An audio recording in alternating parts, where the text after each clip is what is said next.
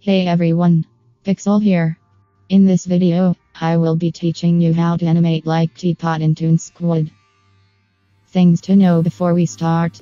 Toonsquid is only available on iPad for iPad OS 15 or later, and has a $10 price tag. Also, you need to download an asset pack from YouTube to get the assets needed for this tutorial. I will link some videos in the description below. Here is a list of all file and audio types. Where to start? First, open Toonsquid. This is where all your projects are going to be. On the top right, you see a plus button.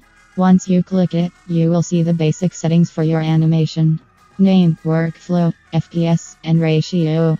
For settings, I use the ratio 3840 x 2160 for higher video quality, 24 frames per second, and traditional workflow.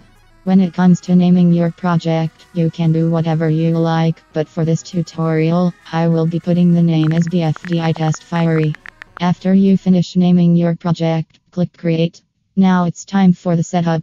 Before we start, I would like to show you a brush to help you animate. First of all, on the middle right of your screen, there is a brush icon. Once you click it, go from the brush you have selected to vector, then click round stroke. If you don't see round stroke, you can click the button at the top of the panel to create one. What this does is instead of pixel based strokes, it uses sharp vector paths, making it more high quality and makes you able to draw outside the canvas, which is super helpful for animation. Once that is done, we can start importing audio. By clicking on the arrow on the bottom right on your screen, the animation panel will pop up. On the bottom left side of your screen, there is a plus. Once you click, it will show you your audio, video, images, and layer options. Click audio. It will show you the options to import audio. Personally, most of the time I use photos for my audio, but you can use files too. For this tutorial, I will be using photos. Once you click photos or files, scroll down until you find your specific audio you would like to use. Once you find it, click it and it will put your audio on a layer. This is the audio I'm using. Hey, Coiny, you're a penny. You're worthless. Next, it's time to import layers. Click the same plus button and click layer. It will create a new one. For a character, I recommend putting 7 layers for a character with all limbs like this show order on screen, but this can vary with contestants' limbs or mouths. Also remember to name them because animation can get confusing. Name them character name, leg 1, leg 2, arm 1, arm 2, eyes, and mouth. Now we are almost done with the setup. With layers, you should always use transform hierarchy. Transform hierarchy is basically the bones of your animation. It helps you animate so much faster. To do this, click the three dot button on the bottom left of your screen next to the magnet icon. You will see all your layers in the animation. To do this, drag your character layer onto the hierarchy. Now select your face and put it on onto the character, not the hierarchy. You will tell you did it right when the layer connected to the character layer sticks out more than the character's layer. Repeat this step for the eyes, mouth, and arms, but not the legs. The legs I usually keep it above the character layer, not connected to the body rig. The legs are what you need to skew later on, I'll get onto that later in this video. Now we are officially done with the setup, now we can start the animation process. Firstly, go to libraries, this is where all your characters and symbols will be. Click the plus icon at the top and click import files. This will bring up all your files you have stored. Once you find your asset pack, click on it and open it, it will import your assets into the library. For this guide, I will be using Firey hence the audio. Now for the fun parts. Mouth animation.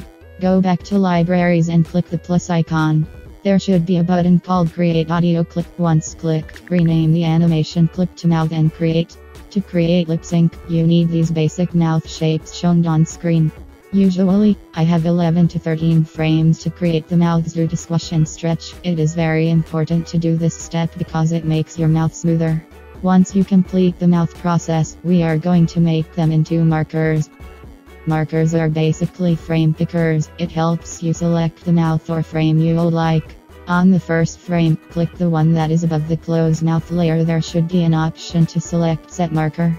Once clicked, you should rename it to the proper mouth type by clicking the gray box. You can use mouth charts to help you know what is what. Repeat this step for how many mouths you have. Once done, go back to scene 1 and import the mouth into the timeline. Now copy it, delete the original layer, and paste it into the your mouth layer. Now when move your character, it will also move the mouth with it. Now it's time to actually animate the mouth.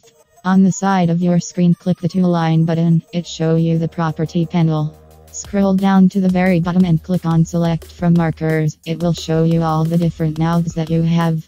To move them, all you need to do is select the mouth type on the markers for each frame of the animation. Tip Phonemes are the audio that plays when you move the timeline. It will help you with the mouths. This process could take either a couple minutes or a couple hours, depending on how long your audio is and how many markers you have.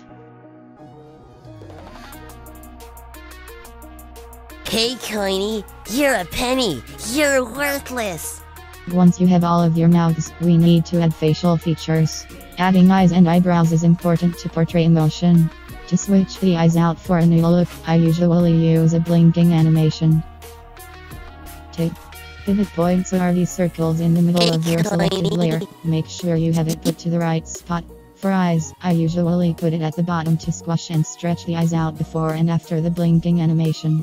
To animate the eyes blinking, keyframes are here to help.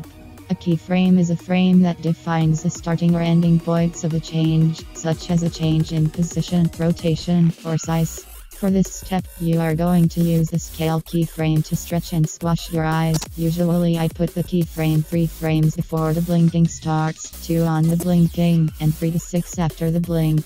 Remember to turn on free from under scaling mode on the top right of the screen. Also, remember to use easing for your animation. For easing I use cubic ease in and back ease out, it helps with making the animation smooth and bouncy. Remember, use ease in for the start position and ease put for the movement after the initial starting point. You can do this stepwise as many times as you like.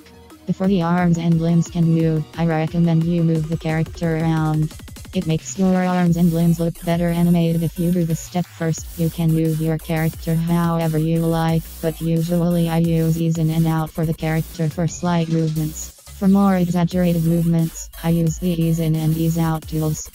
Now that we are done with the face, eyes, and body movements we can now get into the movement of the limbs. You basically do the same process with pivot points and keyframing. Make sure your pivot points match up to the start of the arms so they can move functionally. This won't make your animation look 1000 times better when it comes to moving your arms.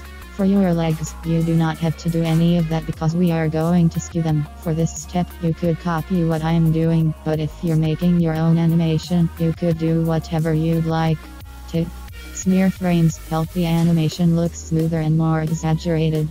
So it is recommended that you use that to your advantage. Now that the arm movements are done, we can move on to skewing. Skewing helps you move your legs back and forth with the character. To skew, you need to click on the legs and go to scaling mode. You will see an option called perspective. What this does it lets you move your legs back and forth more easily. Now with keyframes, you want to move the legs with the character but the same keyframes and easing and outs. Basically, just copy or look at the frames of the character shown for the movement. Hey, Coiny, you're a penny. You're worthless. Now we're done. Now you could add After Effects via backgrounds and props to make your animation come to life. Hey, Coiny, you're a penny. You're worthless. I hope you enjoyed this tutorial and I hope it helped you guys a lot. If some of the stuff was not clear enough, I can make a separate video talking more in depth of these topics, such as transform or time, mouth movements, etc. If you want to see more stuff like this, make sure to like and subscribe.